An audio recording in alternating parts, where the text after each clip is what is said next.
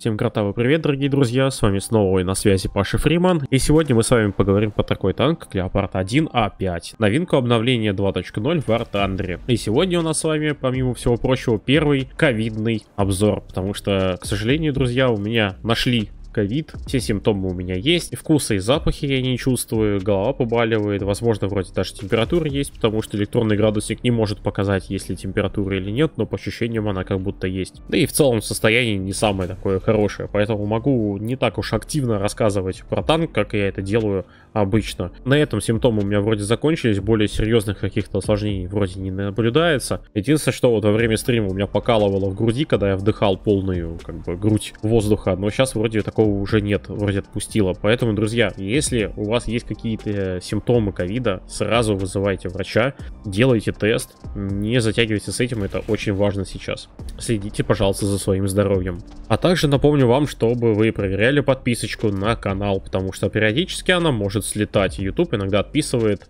зрителей от каналов, на которые они подписаны. Это бывает рандомно, поэтому перепроверяйте на всякий случай, чтобы не пропускать новые ролики. Ну и, соответственно, давайте, ребят, с вами начинать обзор или мнение, кому как удобнее, на Leopard 1 А5. Собственно, наверное, начнем с того, чем они отличаются от обычного Leopard 1 А1. Отличаются они двумя вещами. У А5 появляется тепловизор в прицеле, к сожалению, панорамы у нас не будет, поэтому в бинокле им невозможно будет воспользоваться только в прицеле. И наличие более лучшего ломика DM33. На Леопарде 1 был только DM23. Ну и, соответственно, в стоковом состоянии мы также с вами начинаем на кумулятивных снарядах, что будет немножечко доставлять неудобства в рандоме, потому что БВ рейтинг у нас теперь выше, то бишь 9.0, у Леопарда 1.1 8.7, и там немножечко все-таки попроще на кумулях играть. А на 9.0 мы попадать с вами можем, соответственно, в 10.0 против танков, у которых очень хорошая защита против кумулятивов, а также более часто появляется динамическая защита, благодаря которой мы не способны,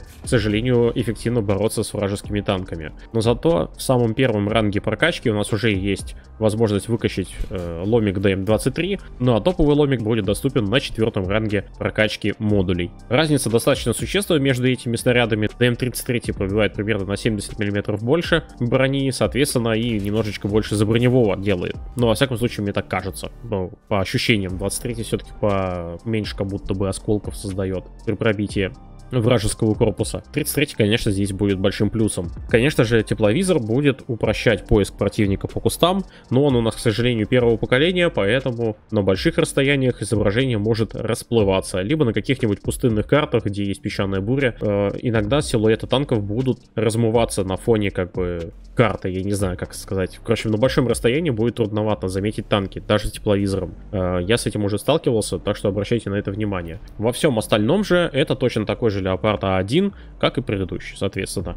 Скорость поворота башни, углы наведения, перезарядка, все абсолютно то же самое у нас остается. Подвижность такая же, подвижность замечательная, и задним ходом мы с вами можем кататься со скоростью 25 км в час, что очень часто помогает уйти из-под атаки противника, ну и наоборот выкатиться на него. Максималочка у нас 65 км в час, едет танк довольно бодро, маневрирует также хорошо. Разумеется, у нас есть и двухплоскостной стабилизатор на орудии, соответственно, мы можем стрелять с вами на ходу, что тоже будет большим плюсом. Хотя на этих боевых рейтингах все, по-моему, со стабилизаторами катаются. И можно сказать, что этим никого уже не удивишь. По поводу выживаемости. Здесь, ребят, все довольно странно. Потому что Леопард 1, э, он, в принципе, довольно легко уничтожается, что ломиками, что фугасами, что кумулятивами, зенитками. В общем, живучесть у нас с вами не самая лучшая. Хотя были моменты, когда я лобовой проекции танковал и Т-55 и Т-72. По непонятной причине у них были рикошеты от ВЛД. Тундра, скорее всего, в этот момент происходила, поэтому я их и переживал. Иногда снаряды пропадают в гусеницах, но, опять же, это сейчас на всех танках встречается встречается такое, так что это, наверное, вряд ли можно назвать особенностью Леопарда 1А5.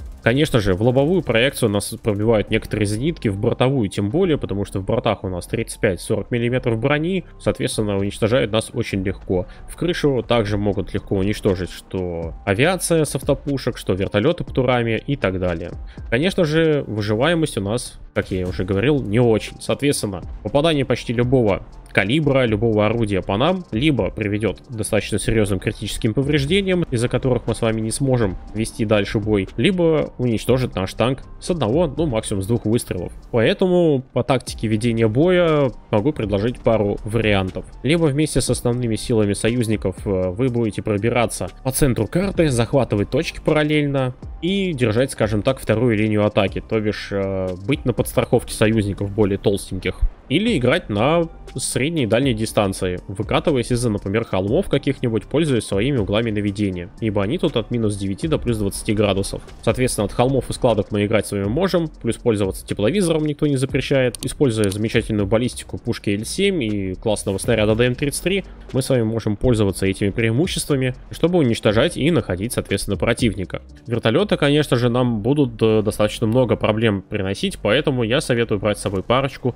кумулятивных реактивных снарядов в боекомплекте. Чтобы и низко летящие вертолеты, опять же, с авиацией сбивать, если вы можете это делать, и легко бронированную технику, ну, например, какие-нибудь зенитки. Потому что я заметил, что в тундре отключили халбрейк от кинетических боеприпасов на многих машинах в игре, и теперь некоторые зенитки не ваншотятся в корпус, например, либо в башню, и периодически они сохраняют свою боеспособность, которую они против нас с вами и применяют в случае нашего с вами неудачного выстрела. Поэтому, ребят, кумулятивами лучше по легко бронированной технике стрелять поверьте, это намного эффективнее будет, чем ломиком. Также, если вы, например, переживете все-таки попадание танка, и у вас, например, останется половина членов экипажа, напомню, что в танке их всего 4, соответственно, на двух членах экипажа воевать становится очень тяжело. И в этом случае я буду рекомендовать вам увеличивать расстояние между танками вашим и, соответственно, противником, чтобы вы могли перезарядиться, потому что перезарядка на двух членах экипажа у нас составляет там порядка 14 секунд, что, согласитесь, достаточно много. Также хочу отметить сами по себе ломики DM33 вполне неплохие. Правда, на совсем больших расстояниях при попадании вниз списка их иногда будет не хватать, чтобы пробивать те же 64 и 72 -ки. Поэтому, если вы будете попадать против топов, советую вам стрелять, стараться по казенникам. Это самая пробивная и самая легко поражаемая часть танка вражеского, поэтому э, попадание туда, скорее всего, приведет к выводу танка из строя. Ну а дальше вы уже подъедете поближе и долбанете там в корпус или в какое-нибудь другое уязвимое место. Также ДМ-33 неплохо работают по наклонной броне, ну а также немного по подвернутым корпусам танков. Соответственно, советские танки через передний каток довольно легко уничтожаются этим самым снарядом. Правда, бывают, опять же, как я и говорил, моменты, когда снаряд будет застревать в гусеницах. Ну и, разумеется, остерегайтесь авиации, потому что это будет больно. У нас, к сожалению, с вами нет противовоздушного обороны, скажем так, да, то есть у нас только есть пулемет МГ-3, который имеет калибр 7,62, соответственно, особо большие серьезные повреждения нанести авиации у нас не получится. К тому же он очень сильно ограничен по вертикальным углам наведения. В целом, учитывая боевой рейтинг 9.0 и довольно частое попадание на боевые рейтинги 9.3, 9.7, 10.0, геймплей на этих БРах, ребята, у нас сами знаете какой. Соответственно, огромное количество крыс, Мало кто вообще выезжает с респауна, к сожалению. И именно это надо учитывать при игре на этом танке.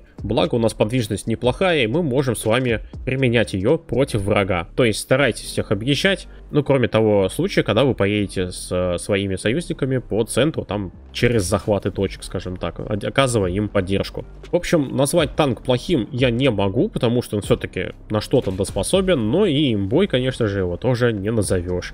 Просто чуть лучшая версия, чем Леопард А1, за счет тепловизора и более мощного ломика. Вот в целом-то и все, что можно было сказать про этот танк в самом начале, но все-таки я постарался вам раскрыть его возможности, указать минусы и, соответственно, плюсы. Кстати, добавлю, что у Италии тоже появился точно такой же танчик Leopard 1 А5. Ну, соответственно, этот обзор распространяется в том числе и на него, потому что они абсолютно одинаковые.